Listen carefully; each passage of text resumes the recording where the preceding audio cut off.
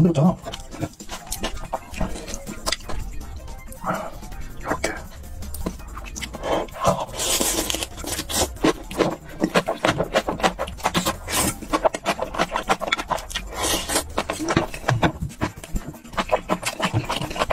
음.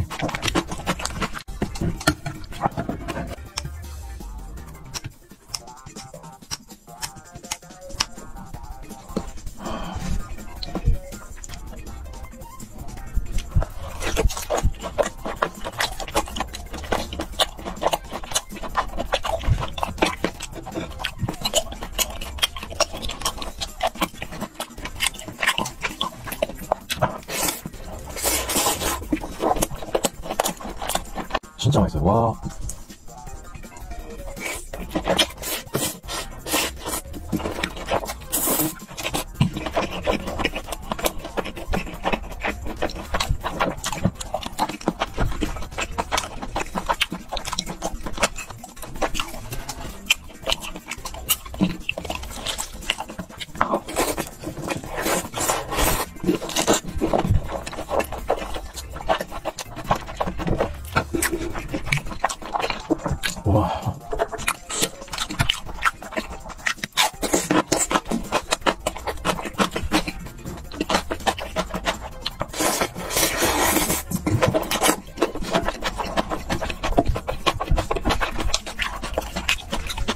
계속 감탄사가 나와요.